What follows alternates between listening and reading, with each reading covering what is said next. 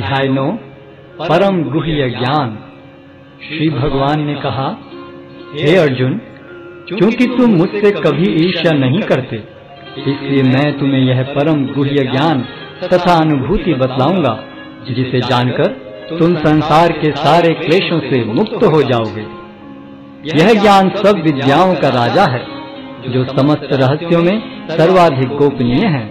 यह परम शुद्ध है। और चूँकि यह आत्मा की प्रत्यक्ष अनुभूति कराने वाला है, अतः यह धर्म का सिद्धांत है। यह अविनाशी है और अत्यंत सुखपूर्वक संपन्न किया जाता है। हे परंतप, जो लोग भक्ति में श्रद्धा नहीं रखते, वे मुझे प्राप्त नहीं कर पाते। अतः वे इस भौतिक जगत में जन्म मृत्यु के मार्ग पर वापस आते रहते हैं।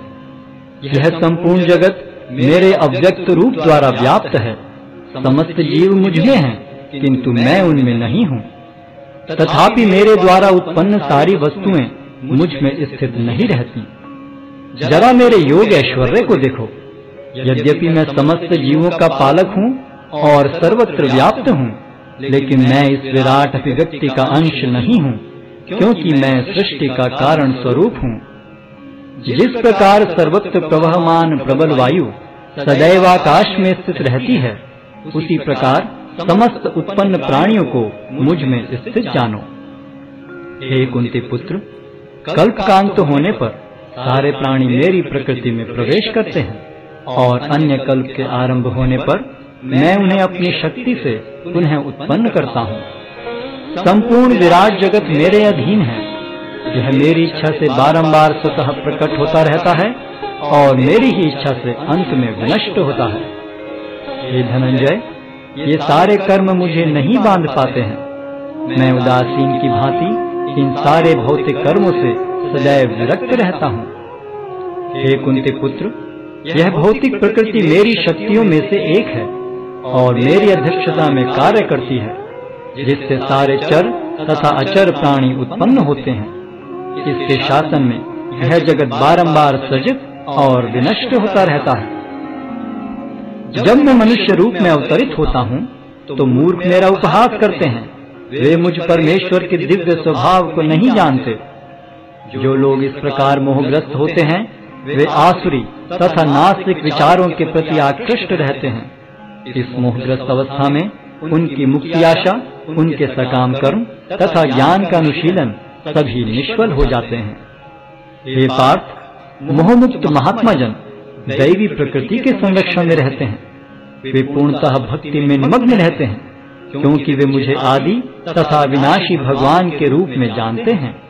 ये महात्मा मेरी महिमा का नित्य कीर्तन करते हुए दृढ़ संकल्प के साथ प्रयास करते हुए मुझे नमस्कार करते हुए भक्ति भाव से निरंतर मेरी पूजा करते हैं। अन्य लोग जो ज्ञान के अनुशीलन द्वारा यज्ञ में लगे रहते हैं वे भगवान की पूजा उनके अद्वय रूप में, विविध रूपों में तथा विश्व रूप में करते हैं। किंतु मैं ही कर्म कांड मैं ही यज्ञ, पितरों को दिया जाने वाला तर्पण, औषधि, दिव्य ध्वनि, घी, अग्नि तथा आहुति हूँ। मैं इस ब्रह्मांड का पिता, माता, आश्रय तथा पितामह हूँ। मैं ये शुद्धि करता तथा ओंकार हूँ। मैं ऋग्वेद, सामवेद तथा यजुर्वेद भी हूँ। मैं ही लक्ष्य पालन करता स्वामी, साक्षी, धाम शरण स्थली तथा अत्यंत प्रिय मित्र हूँ। मैं सृष्टि तथा प्रलय, सबका आधार, आश्रय तथा अविनाशी बीज भी हूँ। हे अर्जुन, मैं ही ताप प्रदान करता हूँ और वर्षा को रोकता तथा लाता हूँ। मैं अमृत हूँ और साक्षात मृत्यु भी हूँ। आत्मा तथा पदार्थ दोनों मुझ ही। में हैं जो वेदों का अध्ययन करते तथा सोमरस का पान करते हैं, वे स्वर्ग प्राप्ति की गवेषणा करते हुए अप्रत्यक्ष रूप से मेरी पूजा करते हैं।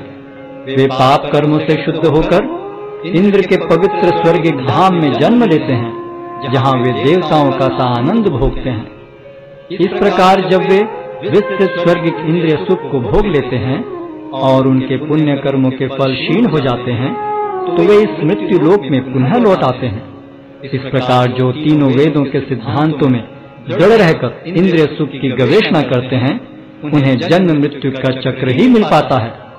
किंतु जो लोग अनन्य भाव से मेरे दिव्य स्वरूप का ध्यान करते हुए निरंतर मेरी पूजा करते हैं, उनकी जो आवश्यकताएँ होती हैं, उन्हें मैं पूरा करता हूँ और जो कुछ उनके पास है, उसकी रक्षा करता हूँ। हे कुंती पुत्र जो लोग अन्य देवताओं के भक्त हैं और उनकी श्रद्धा पूर्वक पूजा करते हैं, वास्तव में वे भी मेरी ही पूजा करते हैं, किंतु वे यह त्रुटि पूर्वक ढंग से करते हैं। मैं ही समस्त यज्ञों का एकमात्र भोक्ता तथा स्वामी हूँ। अतः जो लोग मेरे वास्तविक दिव्य स्वभाव को नहीं पहचान पाते, वे नीचे गिर जाते हैं। जो देवताओं की पूजा करते हैं, वे देवताओं के बीच जन्म लेंगे, जो पितरों को पूजते हैं वे पितरों के पास जाते हैं। जो भूत प्रेतों की उपासना करते हैं, वे उन्हीं के बीच जन्म लेते हैं। और जो मेरी पूजा करते हैं, वे मेरे साथ निवास करते हैं।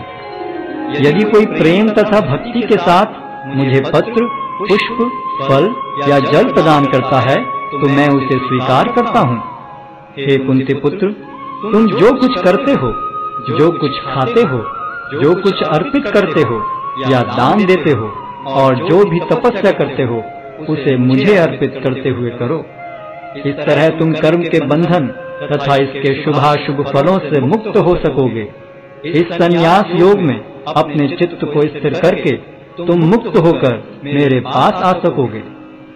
मैं न तो किसी से द्वेष करता हूँ, न ही किसी के साथ पक्षपात करता हूँ। मैं सबों के लिए संभाव हूँ, किंतु जो भी भक्ति पूर्वक मेरी सेवा करता है वह मेरा मित्र है, मुझमें स्थित रहता है और मैं भी उसका मित्र हूँ। यदि कोई जघन्य से जघन्य कर्म करता है, किंतु यदि वह भक्ति में रत रहता है तो उसे साधु मानना चाहिए, क्योंकि वह अपने संकल्प में अडिग रहता है। वह तुरंत धर्मात्मा बन जाता है और स्थायी शांति को प्राप्त होता है। हे कुंती पुत्र, निडर होकर घोषणा कर दो कि मेरे भक्त का कभी विनाश नहीं होता है। हे पार्थ जो लोग मेरी शरण ग्रहण करते हैं, वे भले ही निम्न जन्मा स्त्री, वैश्य तथा शूद्र क्यों न हो, वे परम धाम को प्राप्त करते हैं। फिर धर्मात्मा ब्राह्मणों, भक्तों तथा राज ऋषियों के लिए तो कहना ही क्या है? अतः इस क्षणिक दुख में संसार में आ जाने पर मेरी प्रेमा भक्ति में अपने आप को लगाओ। अपने मन को मेरे नित्य चिंतन में लगाओ। मेरे भक्त बनो। मुझे नमस्कार करो और मेरी ही पूजा करो। इस प्रकार मुझमें पूर्णतया तल्लीन होने पर तुम निश्चित रूप से मुझको प्राप्त होगे।